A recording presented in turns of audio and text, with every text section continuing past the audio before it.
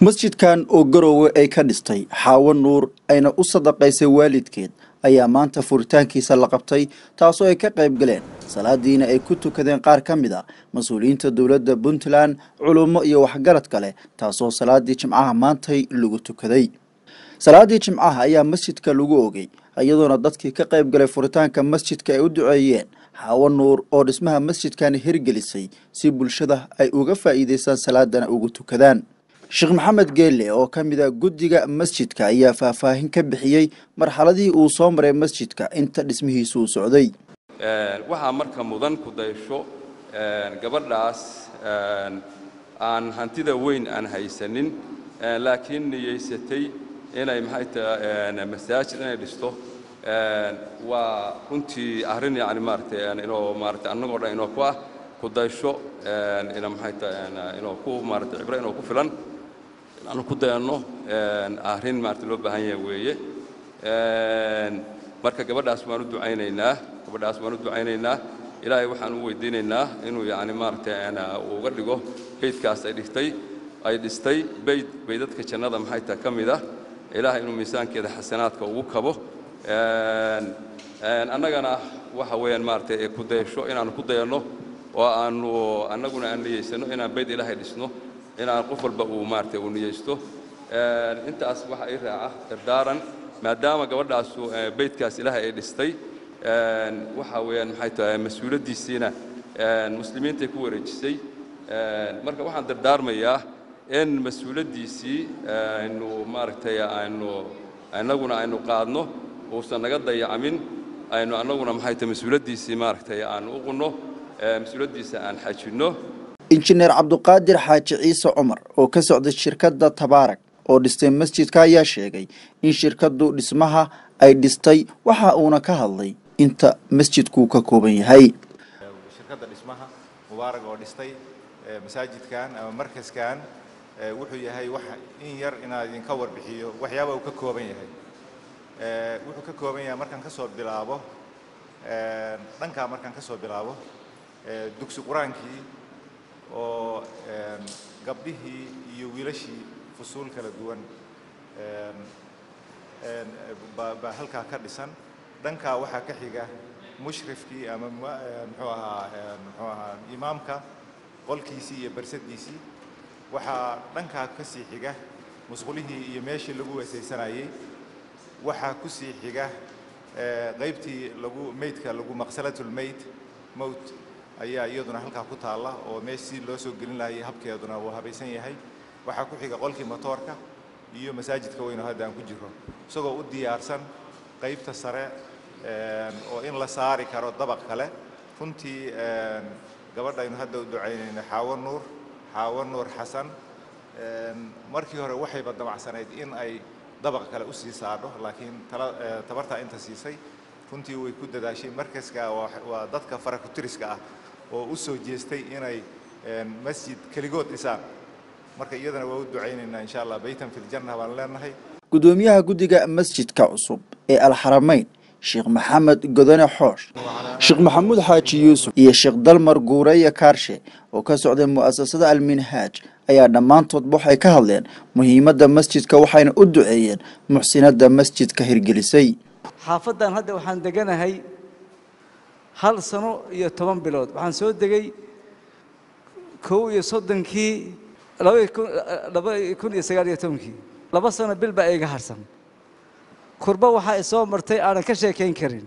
Dee subax kasta inaan baabuurka qaato oon masaajid aado waxaa iga daran waxaan ku soo aaday midnaa shan iyo afartan sano. Haddaan doono waxaan odhan karaa shan iyo konton sano. Masaajid baan deris la ahaa ima soo marin masaajid aan baabuur qaato noloshaydii aniga waa igu adkaatay anoo caafimaad qaba inaan fajir guri ku tukado. Marka qofka maantay faraxsanay waa aniga horta ha la ogaado. Marka labaad ilaahay baan u mahad celinayaa kurbadaas iga qaaday shukri iyo mahad iyo fadli asagaa iska leh. Waxaa xusud mudan maamo xaawo nuur in loo duceeyo. Gabadhaasi waa dadaashay allah khayr siiyo. Masaajidkan wuxuu alwaaxu ku dhegan yahay. Ishaan ka fiirsan jiray muddo toban sano ah. Xaramayn ogtihiin nebiyullaahi moxamed calayhi salaatu wasalaam markii ugu horrayso magaalada madiine uu soo galay shaqadii wuxuu ka bilaabay masaajid inuu dhiso.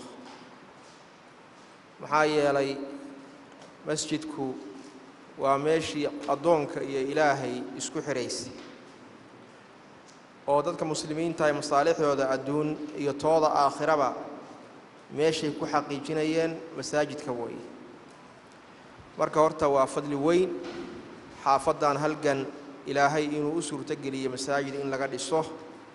Waa nicmo weyn oo ilaahay ugu deeqay.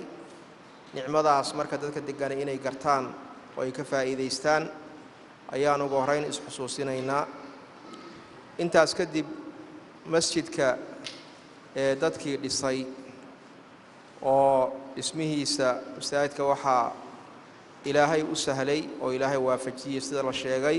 Gabadha magaceeda la yidhaahdo xaawa nuur xasan. Gabadhaasi degaan ma ah dibad bay ka timid. Inay garoowe ama xaafaddan lacag aada u tiro badan ay u geliso beyd ilaahay.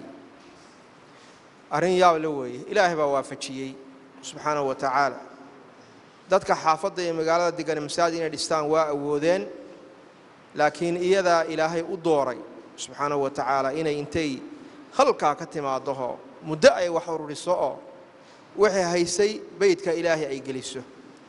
Weliba hadda ay diyaar u tahay dabaqa sare inay dhisto oo ay tiri anaa dhisanayo la iga taaban mayo. Waan malaynayaa inuu yahay jamcihii u horreeyey oo lagu tukado beydkaas awalan walaalihii noo hirgeliyey waa igu horraysa xaawo nuur xasan iyo walaalihii dhulka bixiyey iyo cid kasta oo gacan ka geysatay.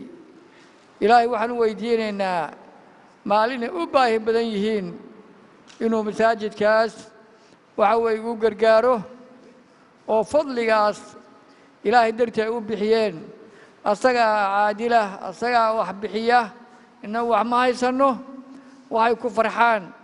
Ayada iyo ayaga iyo wax alla waxay doonayaan inay farxaan oo qaraabadooda iyo ehelkoodiiba maalintaas allah ka farxiyo. Wasiir ku-xigeenka wasaaradda arrimaha gudaha dowladda puntland mudane maxamed musadaq maxamed ayaa gebagabadii furitaanka masjidka ka hadlay waxauna sheegay ahmiyadda masjidka uu leeyahay isagoona u duceeyey xaawo nuur oo dhistay masjidkani. Waxaan u mahad celinayaa kuna bogaadinayaa walaashay maama xaawo nuur oo runtii shaqo wanaagsan qabatay oo noo dhistay masjidkan quruxda badan oo quruxda iyo bilicda wanaagsan ka muuqato ilaahay ha ugu dhigo sadaqa gaaraya iyada iyo aabbaheed iyo hooyadeed iyo walaalaheedba iyo iyo carruurteedaba waxaan kula dardaarmayaa guddiga masjidka ama guddiga xaafadda inay ilaaliyaan nadaafadda iyo bilicda iyo quruxda ka muuqata masjidkan carruurtoodana ay u soo dirsadaan markiska hadda laga sheegay oo maxaa la dhahaa qur'aanka iyo shareecadu iskugu jira mar koowaad iyo mar labaad iyo mar saddexaadba waa ku bogaadinayaa walaashay. Shiine cabdi axmed warbaahinta dowladda puntland garowe